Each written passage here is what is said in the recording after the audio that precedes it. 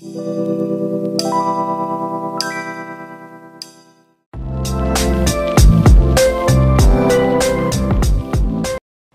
family, as it were, is a natural praeparatio evangelica written into our heart nature.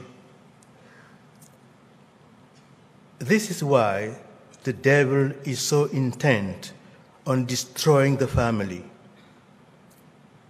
If the family is destroyed, we lose our God given anthropologi- anthropological foundations and so find it more difficult to welcome the saving good news of Jesus Christ, self giving, fruitful love.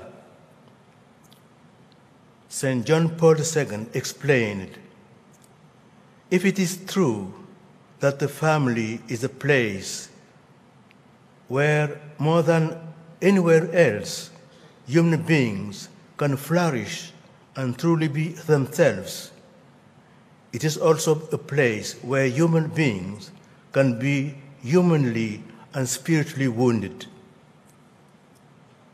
The rupture of the foundational relationship of someone's life through separation, divorce, or distorted imposition of the family, such as cohabitation or same sex unions, is a deep wound that closes the heart to self giving love into death and even leads to cynicism and despair.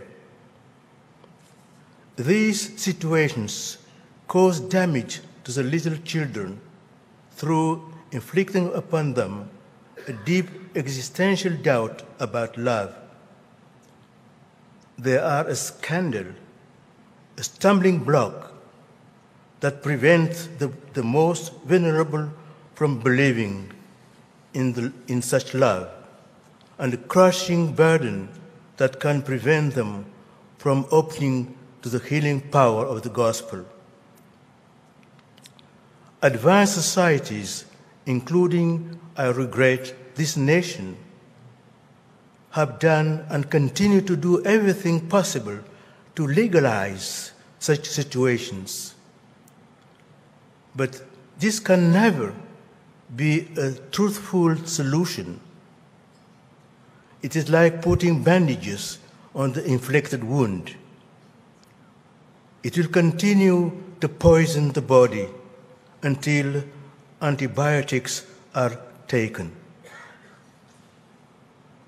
Sadly, the advent of artificial reproductive technologies, surrogacy, so called homosexual marriage, and other evils of gender ideology will inflict even more wounds in the midst of generation we live with. This is why it is so important to fight to protect the family, the first cell of the life of the church and every society. From the beginning, when I, I went for catechism, my parents was very devoted to Our Lady. And uh, I think I learned from them what is to love Our Lady and to be devoted to her. And during my seminary formation, I continued to be very fond to Our Lady. And I can say that she is very near to me still now. Your Eminence, even in your episcopal coat of arms, you have uh, the image of Our Lady. That is, you have a, an M, which I suppose is referring to a Mary. And then on the lower left, you have a figure, uh, you have an image of two figures in a boat. Yes. Um, can you just briefly explain what is your episcopal coat of arms and why did you choose this image? Yes, you're right that M means Mary, and uh, uh, the boat with two figures represent uh, Mary and myself inside the boat. And Mary is conducting the boat to Jesus if you notice uh, on the top, there is a cross Yes. that is Christ. So, uh, all my life, all my ministry, and my diocese was conducted by the Virgin Mary. That is the significance of my uh, motto. I mean that uh, what I am, what I'm doing, must be conducted by Our Lady. God brings good from evil. This is how God has worked from the beginning of creation. God is not overcome by evil, He overcomes evil with good. Today, the Church must fight against prevailing trends with courage and hope. And do not and not be afraid to raise her voice to denounce the hypocrites, the manipulators, and the false prophet. For 2,000 years, the Church has faced many contrary winds, but at the end of the most difficult journey, the victory was always won.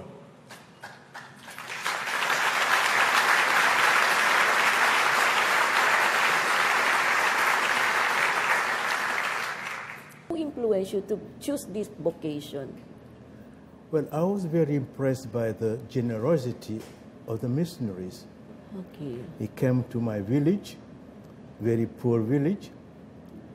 He lived with the, with the population Yeah. very simply, and uh, uh, I went to the school with them.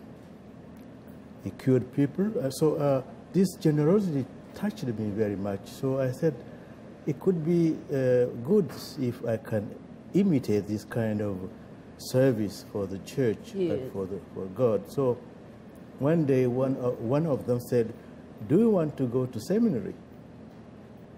Well, I said, What is seminary? Yes, yes. He said, It is a, a school, a special school, when people can uh, progressively learn how to serve the Lord. Yes. So I said, Yes. The example of the missionary was, uh, for me, very inspiring. Yeah. So you see Jesus Christ in that missionary. That's so right. that is very interesting. His example, his way of life Yeah. inspired you. Yeah. So you must really be chosen for a reason.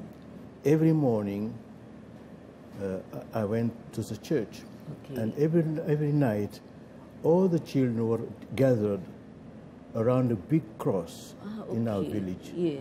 And the, missionary was teaching us who is God, the gospel, the history of, the church. Yes. So I learned from them that uh, it is very good to be uh, at service of, of, of the Lord.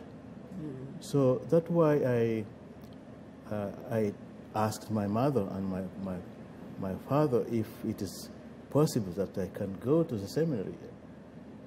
He was very hesitant in the beginning. Yes.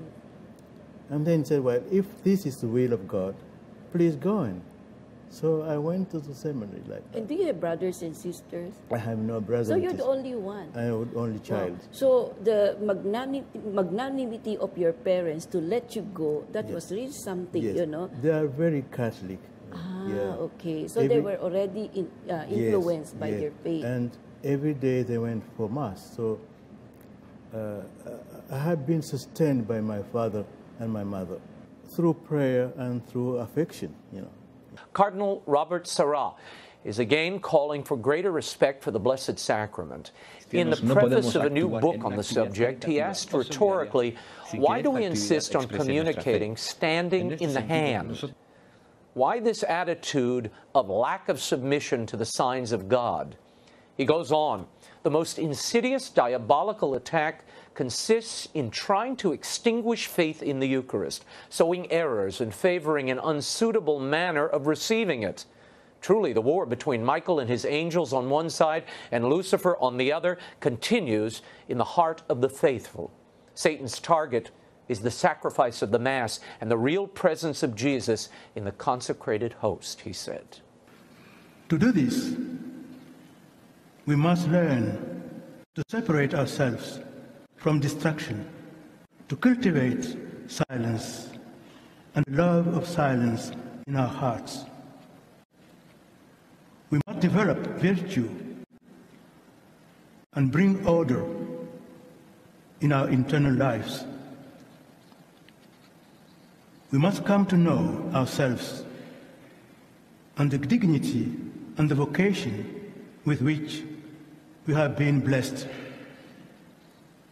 Finally, we must learn to govern ourselves and our world together in friendship with one another, making, making proper use of the world which our Lord has entrusted to us.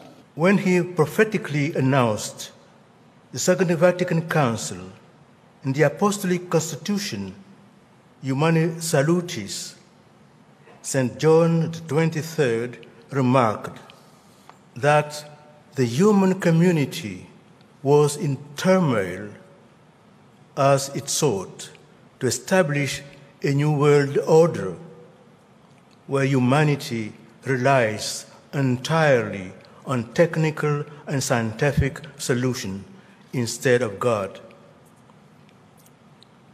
Today we are witnessing the next stage and the consummation of the efforts to build a utopian paradise on earth without God. It is a stage of denying sin and the fall altogether.